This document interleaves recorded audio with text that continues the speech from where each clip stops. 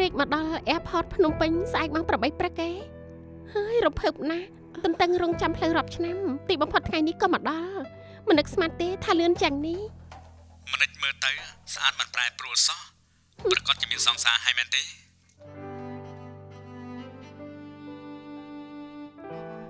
រាជត្រឡប់មកវិញស្អែកនេះហើយខ្ញុំនឹករាជរាល់ថ្ងៃ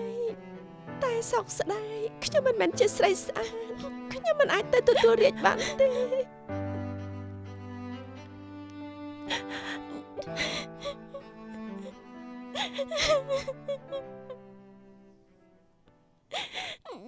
ខ្ញុំជាស្រីស្អាតដែលអាចការបំផុតរាជដឹងទេចុះកញ្ញា គេសុខសប្បាយទេ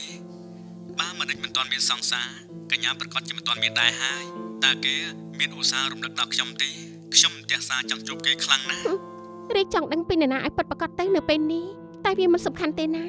សំខាន់គឺខ្ញុំត្រូវត្រករីស្អែកនេះហើយខ្ញុំនឹងប្រាប់ពីដំណឹងរាជត្រឡប់មកវិញនេះឲ្យកញ្ញាបានដឹងបើគេនឹករាជដូចដែលខ្ញុំកំពុងនឹករាជគេនឹងទៅទទួលរាជនៅថ្ងៃស្អែកព្រឹកនេះដែរណាអញ្ចឹងបាយបាយណាកុំភ្លេចប្រាប់កញ្ញាផងថាខ្ញុំនឹកទេនិយាយជាមួយខ្ញុំសួររកវាដឹងទេថាអារម្មណ៍ខ្ញុំបែបណាវាគ្មានត្រង់ណាដែលល្អជាងខ្ញុំទេ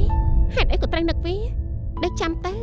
ថាខ្ញុំនឹងយករឿងនេះប្រាប់វានោះហើយកុំសំបីតែយល់សពថានៅបានជួបគ្នានោះដរាបណាខ្ញុំនៅរស់បេះដូងខ្ញុំនៅដែរ